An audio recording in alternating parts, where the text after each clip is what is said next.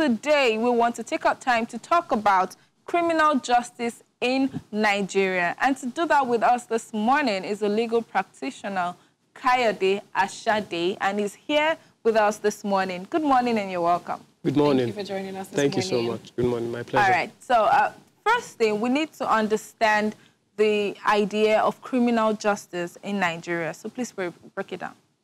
All right. For every society, there is a need to ensure stability, that there is no breakdown of law okay. and order. Um, the reason behind the society generally is a social contract. Mm -hmm. So there is a social contract theory saying that, you know what, let's all come together, but at some point, I submit some of my rights, you submit some, some of your rights. But while maintaining that submission, you don't infringe on my right. So in ensuring that things are balanced, we have a system. Now, two systems are created, the civil system and the criminal system. Some actions which either party, anyone in the community may occasion, may be deemed as a civil wrong against a fellow citizen or dweller, while some will be deemed as a criminal wrong, wrong. which has been prescribed by all. A criminal wrong which has been prescribed by all. So the criminal part is also is, is necessary to establish, to en ensure that there is a balance in the society and there is no breakdown of law and order. It is necessary for our you know, peaceful coexistence. Yes. Yes. Now, I'd like to know, is it every case that warrants imprisonment? I was trying to give you an analogy before the show started, and I was saying, for instance, I steal a pen. It is um, seen as stealing, as, as it were, and uh, does that warrant me to go to prison? Okay, uh, the first thing we should note that the criminal justice system in Nigeria and in most states in Nigeria, or in all the states in Nigeria, is um, set out in a way that it is correctional. A larger part of it is correctional in nature. Okay. So if, even when you consider imprisonment, imprisonment is also has some element of the correctional nature. All right. Yes. Because when you go to some uh, uh, prisons, uh, I've been to Ijebu prison. Okay. You know, prison visits. Okay. Uh, and I've seen some of the facilities there. You have inmates who learn trade. Mm. You have inmates actually who go to school. Okay. In the prison? Yes, in the prison. You have inmates who, who do their WAEC from the prison. Okay. Inmates who attend university from the In prison. The prison. Okay. Yes. Uh, I'm aware of, of that. All so right. obviously, with this background, I know that the prison system ordinarily, the, the rationale behind it is for correction. Right. It's not just for punishment or incarceration as people, you know, term it. Term it. There's so, no extent to which you commit a crime and then you need to go to prison. No, no, no, no. That's that's not what I'm saying. Okay. I, have only established the fact that the the idea the, the idea idea behind prison is to correct. Is to correct. All right. Now, for for offences, the the the criminal code act or the criminal code laws of various states provides for punishment. All right. Now there are some enactments or some laws okay of states. For example, the Road Traffic Act okay. or the FRSC Act provides for certain offenses. And in some instances, you will find that there is a term of imprisonment attached. In some instances, there is a fine. Term. Okay. Yes. Okay. In some instances also, there is forfeiture. Mm. The term imprisonment, you've, you've explained that it is not for punishment, as it were. It is for correction, so that whomever or whoever goes into prison is going there to be reformed and rehabilitated. Yeah, yes, if I, if I may add also, in some instances and some extreme cases, Right. it is to prevent such a person from mingling with the public. Okay. It's for public safety. Okay. What are the cases that can actually throw you in prison? What are the categories? What should we be looking out for? You can go to prison even without being sentenced. Sentenced. you Ah, can we'll go to to prison that. on remand. Okay. You understand? Yeah. Correct. So now, by way of sentencing, any offense that would take you to prison would either be an indictable offense Okay. Or a non-indictable offense. offense. Now, it's just a bit of semantics to say that there are some offenses that are small offenses. Mm-hmm. There are some offenses that are big, a bit big. Let me put it in the layman term. Mm. Now, small offenses are offenses that the maximum punishment is two years.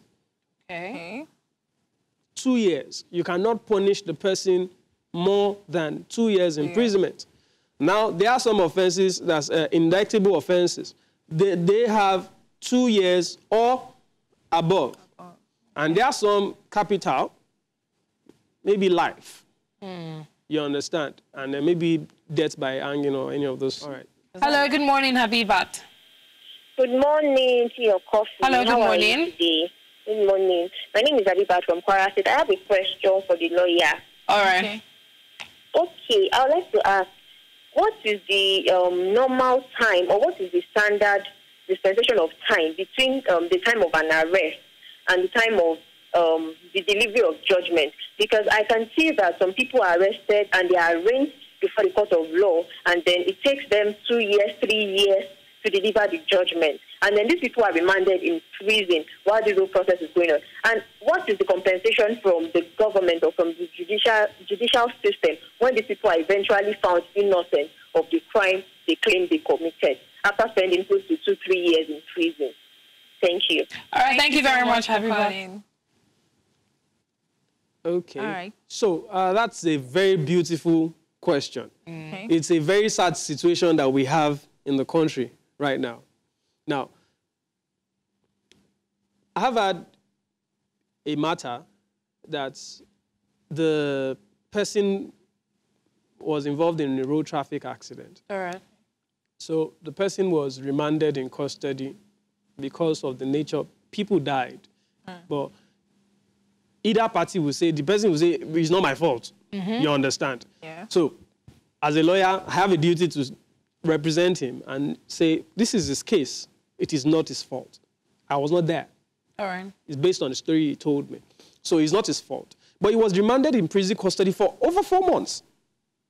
Oh, really? Yes.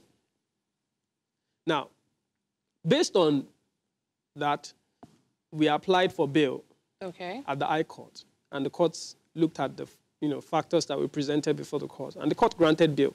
Okay. So he was released on bail. So I mean, in some in some situations, when the remand does not just last, you know, forever. In some in some in some situations, the remand will take longer. The courts will still deny bail in some situations. But there are some situations where you find yourself, uh, God forbid, you know, a, a person finds himself in that remand situation. They are awaiting DPP's legal advice Okay. For, you know, years. I know, at least I've heard of instances whereby somebody is awaiting DPP's legal advice for 10 years. Wow. It's so sad. Yeah. Yes. 10 years. Without even being charged to court. Exactly. So that's where I'm going to. Now, because this person has not been charged to court, mm-hmm. there are some provisions that you might not be able to invoke. Hmm. If it is a person who has been charged to court, and then the person is coming for trial from the prison, and then the trial is taking longer than the pre- period of the punishment itself, that is prohi- prohibited by the law. But this happens. Yes. It- it- a lawyer, eh, you know, some sad situations, the other party, the defendant, don't, does not have a lawyer. But I believe that as a lawyer representing a party, a defendant, you have a duty to search the law to look for whatever safe haven is provided for your client under the law. So in such a situation, you cannot try, somebody cannot stay in prison, coming from the prison, remand, Yes. for a period longer than the period of punishment is, pro- is prohibited by the law. Well, okay, so these things happen anyways. Like you just you just gave us a story on somebody that has remained that that He was, was remand- it was remanded for Yes. ten years. Yes. So what No, if no, he no, the, no, no. The person has been awaiting DPP's legal advice for 10 For years. 10 years. awaiting DPP's legal advice for ten years? Yes. So now he's if on bail, but he's still standing trial. you Okay. stand in trial, so yes. are they, still- are they, He's not even sorry because he's awaiting. He's still going to court. That's what I mean. so okay. Now, if this person is charged to court, then what happens? So um, when when when such matters get to court, the court evaluates the file. See, this person has been in prison custody for longer than even the offense that you are charging him for. Why should I? He has already served whatever time he would serve.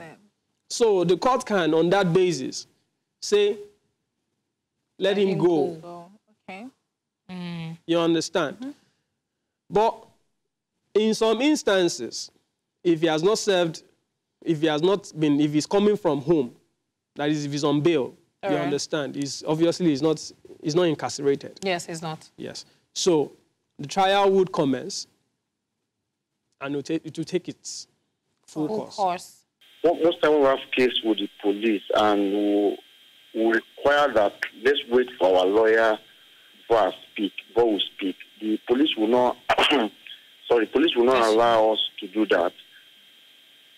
Most, most, most, people will be tortured to make statements on duress.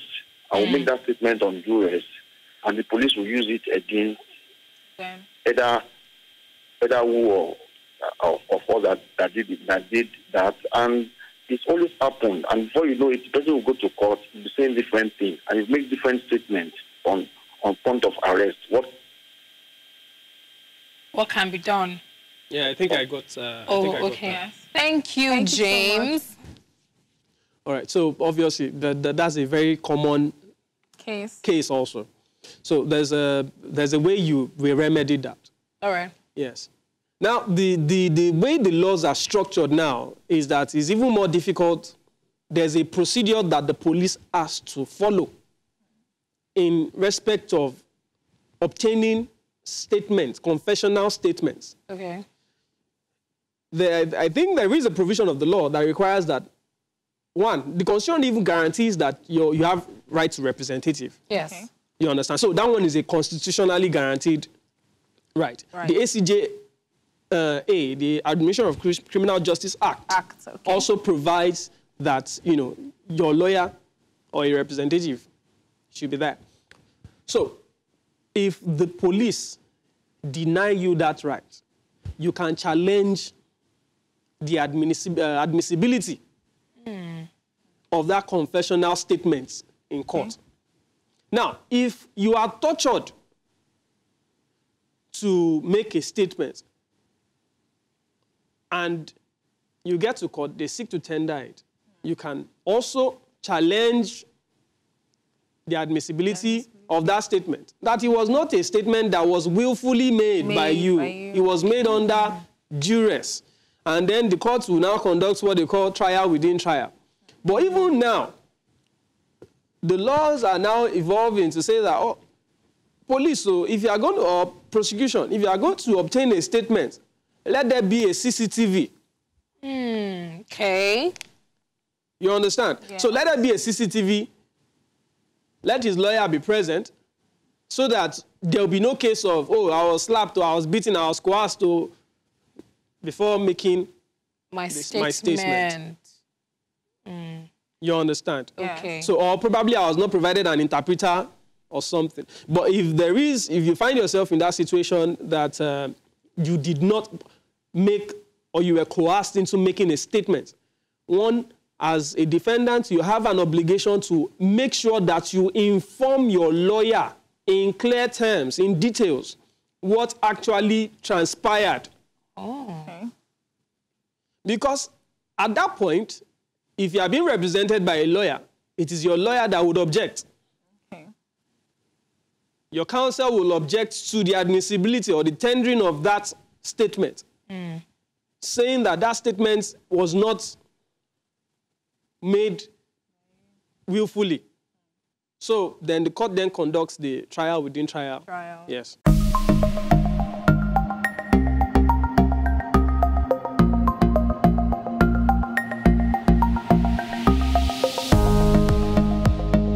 And then the trial is taking longer than the period of the punishment itself. That is prohibited by the law.